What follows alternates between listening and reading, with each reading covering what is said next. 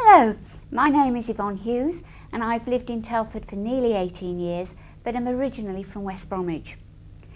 I retired last year after teaching in and around the West Midlands for 36 years. During this time I have taught in a variety of primary schools and worked my way up the management ladder until in 2007 I was appointed head teacher of a Church of England primary school in Wednesbury. However, following a year in which I fulfilled many of my lifelong desires to travel to places I was unable to visit whilst working full time, I now find myself missing many aspects of the working environment and the satisfaction that making a difference to so many brought. Therefore, I'm now looking to return to work, but on a part-time basis. There are many facets to the role of head teacher. No two days were ever the same, and very often the activities or tasks organised and planned for the day had to be changed at a moment's notice. This could at times become very challenging, but at the same time extremely rewarding, and I took great pride in not only my own achievements, but also those of pupils in my care and my staff.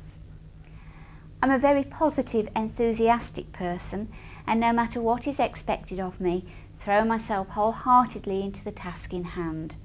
I'm thorough and ensure I get the job finished.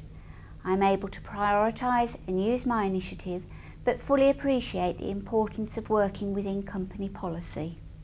Equally, I believe in teamwork and that success depends on team members supporting each other. I'm very comfortable using a variety of software programs such as Microsoft Word, Excel and Outlook to support my work and have experience of using financial management systems. I have a vast experience in chairing meetings and overseeing minute taking at such meetings accordingly. I enjoy using and analysing data to measure effectiveness and success. I feel the skills I've developed over time would make me a suitable candidate for an administrative, reception, personal assistant type role.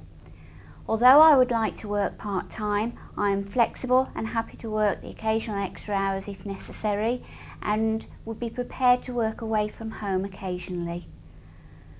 I'm a very sociable person and enjoy meeting people, dining out, visiting the theatre in my spare time, I enjoy a variety of creative activities such as knitting, embroidery, painting, reading, and I'm a member of a mixed voice barbershop choir and gain a lot of pleasure from performing. Thank you for taking the time to view my video profile and I look forward to hearing from you soon.